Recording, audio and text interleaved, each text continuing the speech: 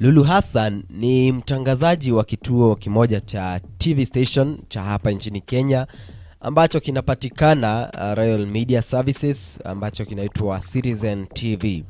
Watu wengi wanamfahamu kwa vitu vingi sana, lakini kuna watu ambao hawamfahamu kwa vitu vingine, na niko hapa ili kuhakikisha kwamba na kujuza ni yapi ambayo haufahamu, hauyafahamu au haujawahi kuyafahamu ah, ambayo Lulu Hassan ameyafanya na ambayo ameyapitia.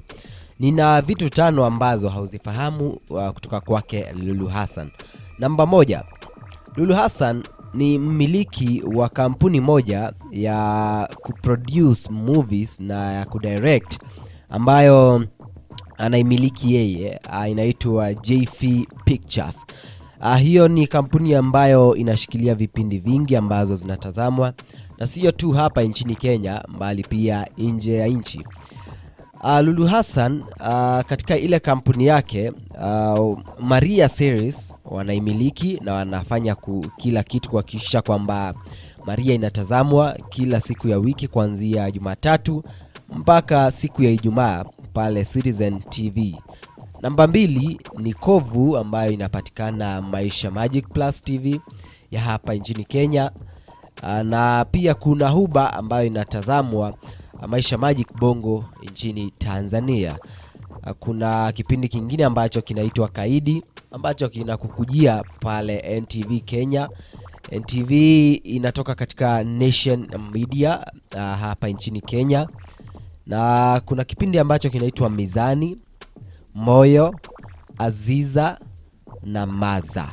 Hizo ni kati ya vipindi ambazo JF Pictures ambayo ni kampuni ya, ya Lulu Hassan ambayo anaimiliki yeye, vipindi ambazo inashikilia hiyo kampuni.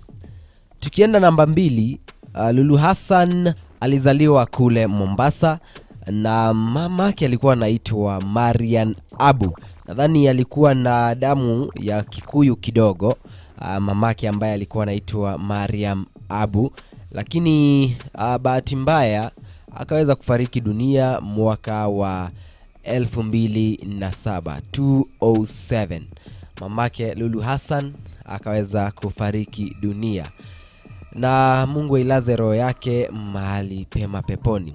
Lulu Hassan yeye ni mzaliwa wa kwanza kati, kati ya watoto watatu ambao ni watoto wa kike. Aa, katika interview ambayo Lulu Hassan aliyoifanya muda mrefu uliopita alisema kwamba ilikuwa ni ngumu sana yeye kuhakikisha kwamba anawashughulikia wadogo wake ili waendelee kusoma baada ya mamake kufariki dunia, na mamake kwa sababu alikuwa mwanamke ambaye ni bomba, ambaye alikuwa kwa kweli anajielewa, alikuwa amewekeza pesa kidogo ah, kuhakikisha kwamba ananunua, ananunua nyumba ambazo an, um, um, anaweza akakodisha. Kwa hivyo Lulu Hassan akaingia kwa zile nyumba na akaanza kuhakikisha kwamba anazimanage ili kupata hela kidogo na kuweza kuwashughulikia wadogo wake, kwa sababu sasa ikiwa, ikiwa sasa mamake amefariki dunia, inabidi basi yeye kama uh, firstborn aweze kuhakikisha kwamba anashughulikia wadogo wake ili waendelee na masomo. Namba tatu, Lulu Hassan alishawahi train uh, kufanya kama cabin crew, lakini ule wakati uh, basi akawa uh, amepata kazi katika kituo cha redio. Kwa hiyo naweza nikasema yeye alikuwa na ndoto ya kufanya kitu kingine. Sasa hapa ndipo Mungu anaingilia, kwa sababu wakati ambapo wewe unapanga kufanya kitu fulani, Mungu naye anakuwa anakupangia kufanya hiki, sio? Kwa hivyo Lulu Hassan ali, alijaribu basi kufanya kazi au kutrain kuwa uh, cabin crew, na Mungu naye akafungua mlango upande mwingine na akaweza kupata kazi uh, kwa redio, na hapo ndipo karia yake ya uh, kuanza media na kuwa media personality ilipoanza. Na tumemwona kwa screens sio mwaka mmoja miwili mitatu minne mitano tumemwona kwa muda mrefu sana.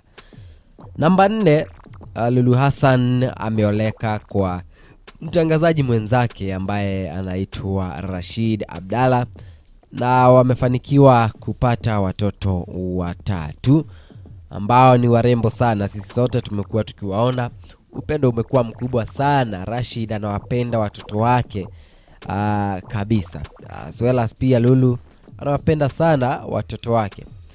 Aa, tukienda namba tano, Lulu Hassan aa, yeye kuna wakati ambapo alishawahi pata ajali ya barabara, lakini hakufariki kwa sababu Mungu ni nani?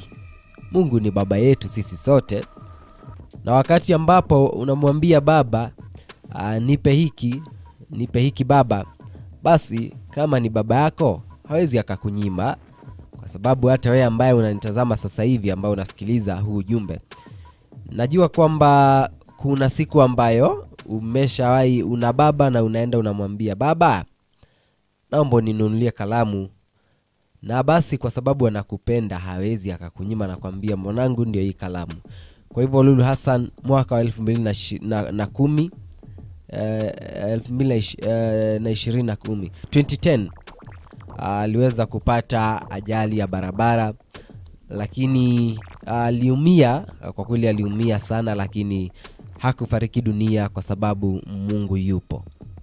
Kwa hiyo hai- hizo ndizo vitu tano ambazo hauzifahamu wewe mtazamaji wa swift media kumhusu lulu hassan wa kituo cha tv station ambayo inaitwa citizen tv kuna mengi ambayo hauyafahamu lakini hizi ni kati ya hizo tano ambazo uh, nimeweza kufanya research yangu ili nikuletee nawe upate kufahamu mengi ambayo hauyafahamu kupitia Lulu Hassan. Kuna mengi ambayo pia hauyafahamu ku, uh, kupitia pia na kuhusu familia yao ambayo ni yake na Rashid Abdalla na wana wao watatu. Kwa hiyo hiyo ndio story next ambayo nitakuwekea hapa ili upate kufahamu. Hivi walipatana vipi na Rashid, uh, mapenzi yao yalianzia vipi, mwaka gani, na walipatana vipi, na mpaka kufikia sasa hivi?